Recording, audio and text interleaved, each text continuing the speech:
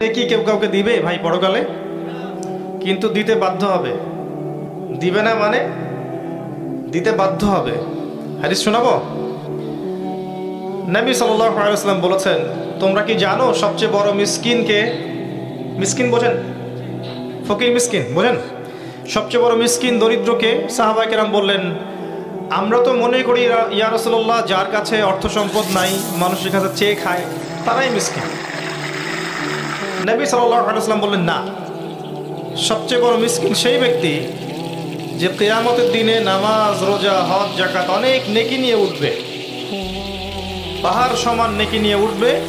কিন্তু কিন্তু বহু পাওনাদার তার সামনে দাঁড়িয়ে থাকবে।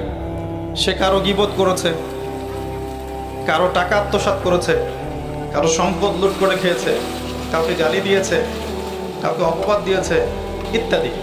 অর্থাৎ মানুষের সাথে জড়িত হক ছিল। মানুষের সাথে জড়িত পাপ ছিল, যেগুলো মানুষের হক হাকুল ইবাদ, এমন অনেক মানুষ তার সামনে দাঁড়িয়ে থাকবে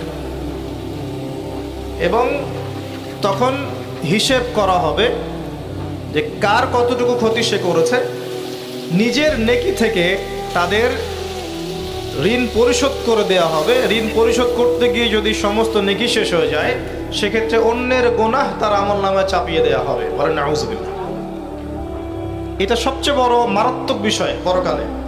আমরা দোয়া করি এই মজলিসে যে আল্লাহ যেন তার সাথে জড়িত পাপ থাকলে মাফ করে দেন। মানুষের সাথে জড়িত কোনো পাপ না রাখেন আমাদের, আল্লাহ মানুষের সাথে জড়িত পাপ থাকলে কি আমাদের মাঠে পার পাওয়া খুবই ডিফিকাল্ট যত টাকা আত্মসাত করা হয়েছে সামাজিক টাকা রাষ্ট্রীয়